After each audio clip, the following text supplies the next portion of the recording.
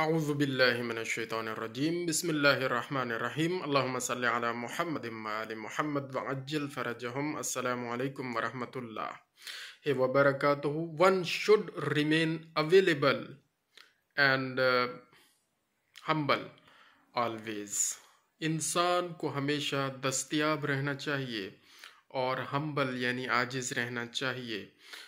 ये आज कालम मैंने पढ़ा है, जनाब मशहूर कालम नगार हैं जनाब जावेद चौधरी साहब और वो आर्ट बुक वर्ल्ड का हवाला देकर ये बात कर रहे थे। बहुत ही अजीम बात है। आ, लेकिन जब मैंने अपनी ज़िंदगी में मुशाहिदा किया कि मेरे इर्द गिर्द ऐसा कौन शख्स है और ऐसी कौन सी शख्सियत है जिसके अंदर ये दो खूबियाँ कमाल हद तक मौजूद हैं।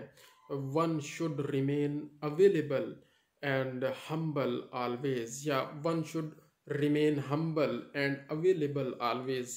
ऐसा कर लें कि एक इंसान को हमेशा आजिज़ और दस्तियाब रहना चाहिए।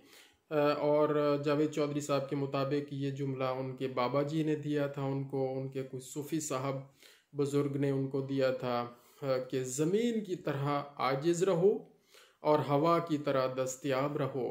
तो बात बिल्कुल ठीक है। तो मैं अपनी ज़िंदगी में जब देखता हूँ तो ज़मीन की तरह आजेज़ और हवा की तरह अवेलेबल का जो जुमला फिट हो रहा है आजकल और मैं पिछले कई सालों से ये मुशाहिदा कर रहा हूँ तो वो वो एक तो वालदेन हैं।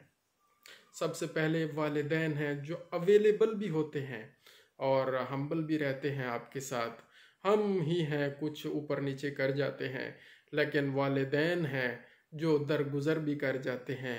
इज्ज़ इनकसारी के साथ हमारे लिए दुआएँ भी कर जाते हैं। और जब हमने उन्हें दिल से पुकारा, वो दस्तियाब भी रहते हैं।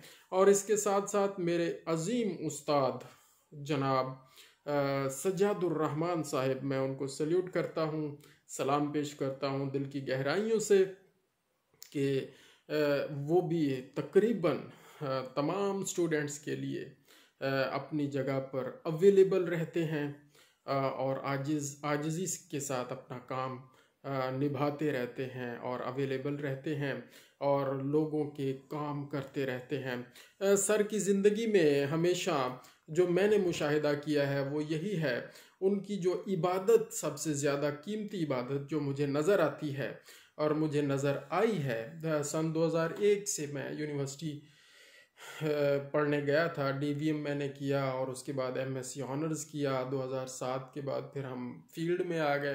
फिर 2019 से 2000 अब 22 आ गया है। मैं यूनिवर्सिटी में हूँ। बसिलसिला पी एच डी तो सर की जो अजीम इबादत जो मुझे नज़र आई है, वो यही है कि सर फैसिलिटेट करते हैं। और अवेलेबल रहते हैं। और ख़ास तौर पर उन तमाम स्टूडेंट्स के लिए, उन तमाम हल्का अहबाब के लिए जो थोड़ा सा दिखाते हैं क्या दिखाते हैं? हौसला दिखाते हैं, लगन दिखाते हैं, हिम्मत दिखाते हैं हार्ड वर्क शो करते हैं अपने काम के साथ। और जो जो सीरियस संजीदगी जिनके अंदर मौजूद होती है अपने काम को करने की तो सर उनके लिए हमेशा हम्बल भी रहते हैं और अवेलेबल भी रहते हैं और फैसिलिटेट भी करते रहते हैं। अल्लाह ताला उनके अजर में इजाफ़ा फरमाए। अल्लाह ताला तमाम मोमिन मोमिनत को, तमाम मुसलमिन मुसलमात को नेक बनाए और ऐसा बनाए जैसा वो ख़ुद चाहता है कि मेरे बंदे ऐसे हों। अल्लाह सल महमद महमद वगज्जिल फ़रजहम।